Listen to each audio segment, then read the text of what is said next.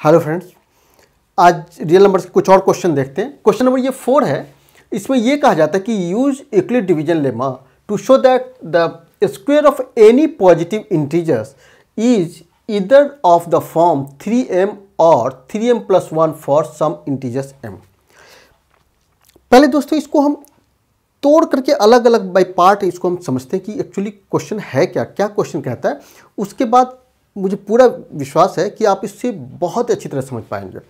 तो सबसे पहले हम ये देखते हैं कि क्या है, कि क्या कहा था कि show that the square of any positive integer कोई भी पॉजिटिव इंटीजर्स अगर लेते हैं, उसका अगर आप स्क्वायर करते हैं तो वो क्या कहता है कि वो या तो 3m के फॉर्म में आएगा या 3m प्लस वन के फॉर्म में आएगा दोस्तों।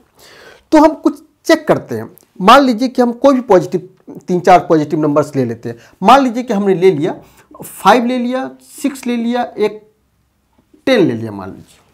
तीन ले नंबर ले लिया। देखिए ये क्या कह रहा है कि square of any positive integer देखिए पॉजिटिव इंटीजर भी है, कोई भी तीन हमने पॉजिटिव इंटीजर ले लिया। आप भी कोई कुछ भी ले सकते हैं, हर जगह ये अप्लाई होंगे राइट क्या कह रहा है कि is of the form three M तो पहले हम इसका स्क्वायर देखते हैं कि फाइव का स्क्वायर क्यों?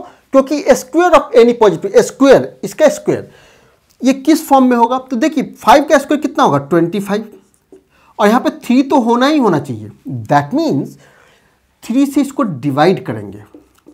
तो थ्री एट या ट्वेंटी फोर वन बच गया। तो इसका मतलब इसको लिख सकता हूँ मैं three into eight plus one right that means M की वैल्यू कितनी हो गई? ये एम है। Three M plus one right? इस फॉर्म में आ गया। अगर हम सिक्स की बात करें तो सिक्स का स्क्वायर कितना होगा दोस्तों? Thirty six. तो कितना होगा? थ्री। अगर थर्टी सिक्स को हम डिवाइड करते डायरेक्ट ट्वेल्व हो जाता है।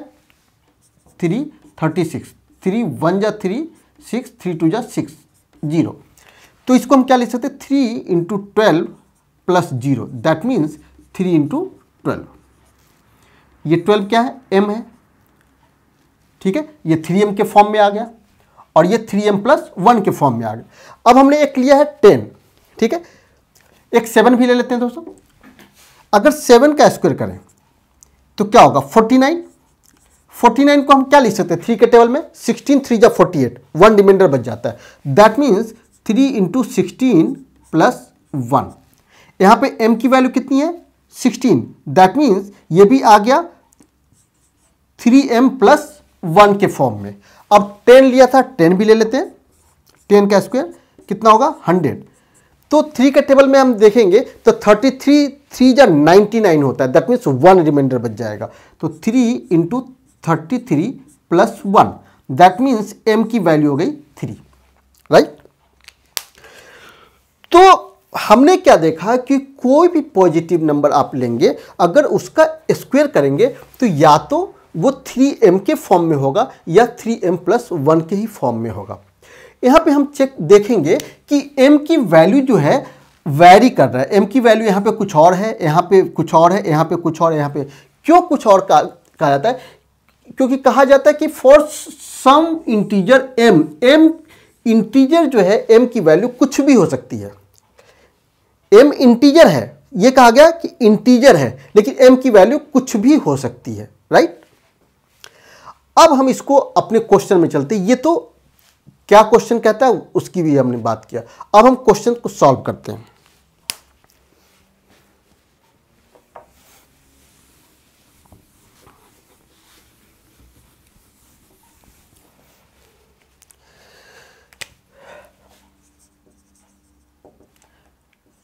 Let a be any positive number.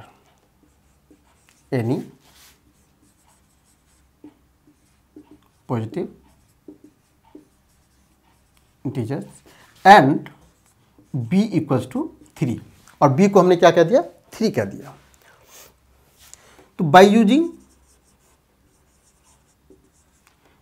Euclid division lemma ठीक है? क्या होगा? A equals to three B की वैल्यू थ्री है और ये Q plus R right where Q and R R some integers, right? Such that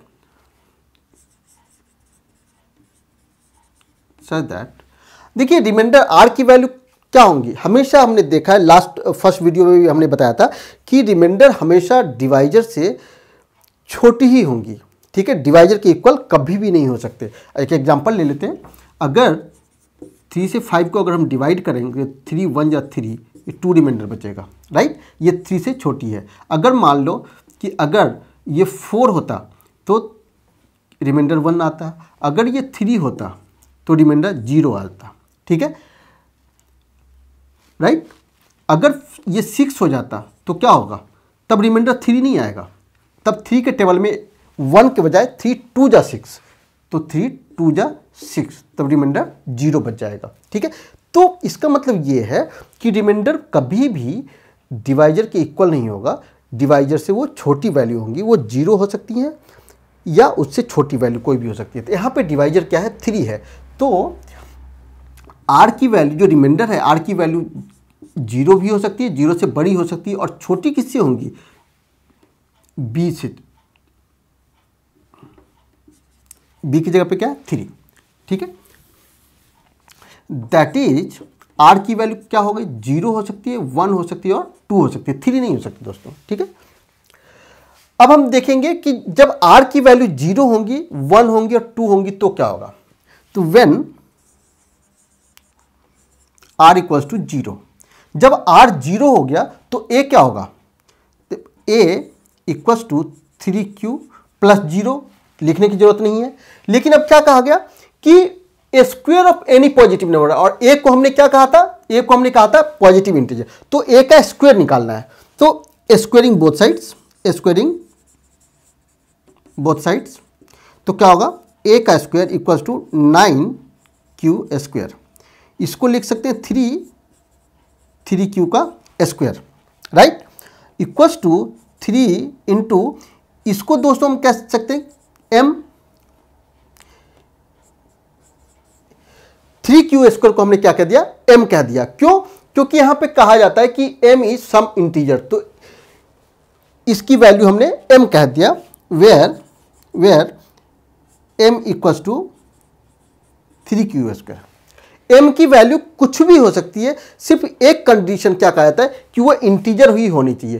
तो क्यू की वैल्यू कुछ भी आप डालेंगे माइनस डालें, प्लस डालें या कुछ भी डालें और थ्री से मल्टीप्लाई करने के बाद वो इंटीजर ही होंगी। इसका मतलब ये सेटिस्फाई कर रहा है कि एम इज़ अ इंटीजर तो ये क्या फॉर्म में हो गया? थ्री एम के फॉर्म में हो गया, जब आर की वैल्यू ज़ीरो थी तो ठीक है? अब हम देखते हैं कि आर की वैल्यू वन है, जब when R equals to one ठीक है? तो ए इक्वल्स टू क्या होगा? थ्री क्यू प्लस आर की वैल्यू है वन। अब हमें क्या फिर से निकालना है? A square. तो स्क्वायरिंग बोथ साइड कर देते हैं तो क्या होगा? A square equals to three Q plus one का होल स्क्वायर अब ये ए प्लस बी का होल स्क्वायर है। ए प्लस बी के होल स्क्वायर पे इसको हम ब्रेक करते हैं तो क्या होगा? Nine Q square plus two into three Q into one plus one का square right nine Q square, three two जा सिक्स क्यू प्लस वन। अब देखिए, हमें तो थ्री क्यू तो चाहिए चाहिए तो थ्री क्यू इसी दोनों में से कॉमन आ पा रहा है। तो हम इसमें से थ्री क्यू, थ्री कॉमन ले लेते हैं तो three Q square plus two Q. इसमें से कुछ नहीं कॉमन आएगा, इसको हमने वन कह दिया। अब देखिए, इसको हमने क्या कह दिया? एम कह दिया। Three M plus one.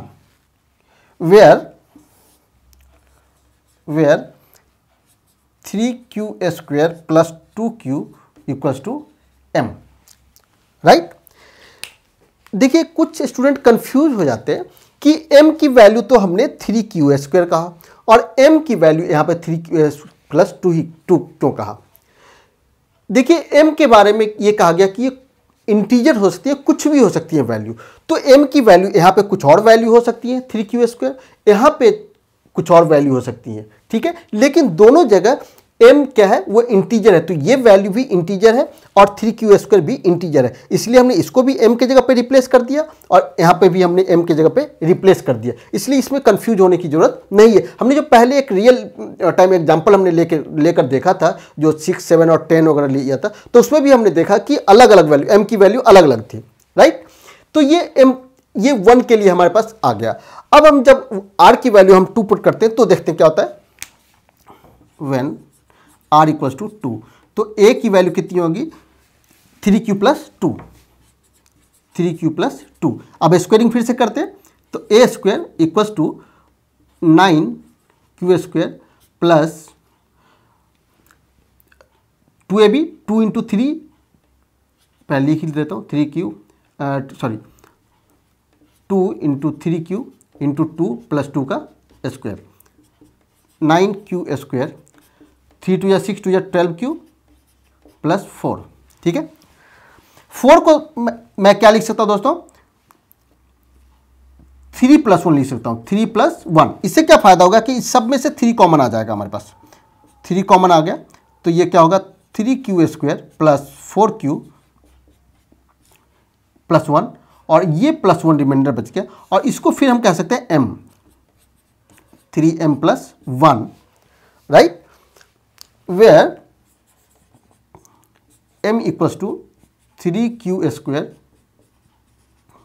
plus one तो देखिए हमने क्या देखा कि जो हमने पॉजिटिव इंटीजर ए लिया था, उसकी वैल्यू हर केस में, चाहे रिमाइंडर ज़ीरो हो वन हो या टू हो, हर केस में वो थ्री एम या थ्री एम प्लस वन के फॉर्म में आ रहा है। ठीक है? तो यही प्रूव करना